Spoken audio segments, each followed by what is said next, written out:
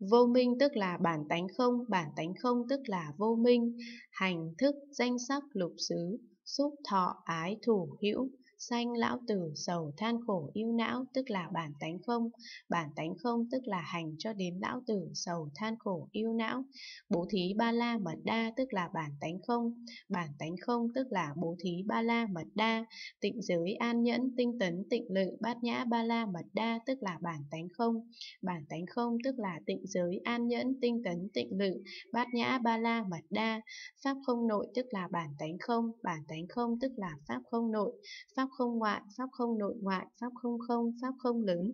Pháp không thắng nghĩa, Pháp không hữu vi, Pháp không vô vi, Pháp không rốt giáo, Pháp không không biên giới, Pháp không tàn mạn, Pháp không không đổi khác, Pháp không bản tánh, Pháp không tự tướng, Pháp không cộng tướng, Pháp không tất cả Pháp, Pháp không chẳng thể nắm bắt được, Pháp không không tánh, Pháp không tự tánh, Pháp không không tánh tự tánh tức là bản tánh không, bản tánh không tức là Pháp không ngoại, cho đến Pháp không không tánh tự tánh. Bốn niệm trụ tức là bản tánh không, bản tánh không tức là bốn niệm trụ, bốn tránh đoạn, bốn thần túc, năm căn năm lực, bảy chi đẳng giác, tám chi thánh đạo tức là bản tánh không, bản tánh không tức là bốn chánh đạo cho đến tám chi thánh đạo,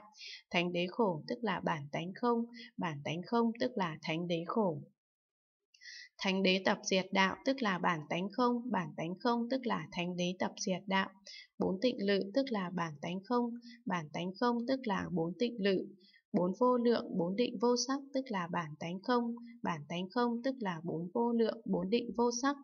Tám giải thoát tức là bản tánh không, bản tánh không tức là tám giải thoát. Tám thắng xứ, chín định thứ đại, mười biến xứ tức là bản tánh không, bản tánh không tức là tám thắng xứ, chín định thứ đại, mười biến xứ. Tất cả pháp môn Đà La Ni tức là bản tánh không, bản tánh không tức là tất cả pháp môn Đà La Ni, tất cả pháp môn Tam Ma Địa tức là bản tánh không, bản tánh không tức là tất cả pháp môn Tam Ma Địa,